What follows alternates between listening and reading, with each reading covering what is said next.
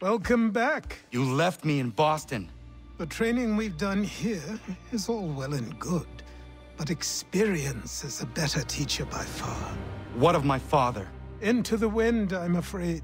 We have to find him. And we will, after the house has been repaired.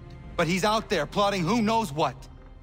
And what would you do when you found him? If you found him? You're a boy with a few months of training. He's a man full grown who spent decades honing his skills. If you're going to stand a chance against the Templars, you're going to need these.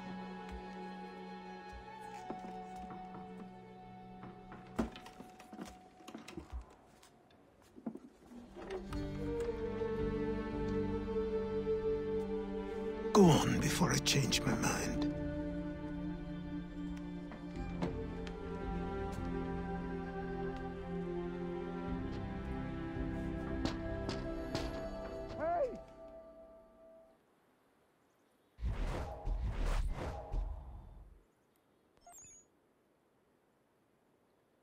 Oh!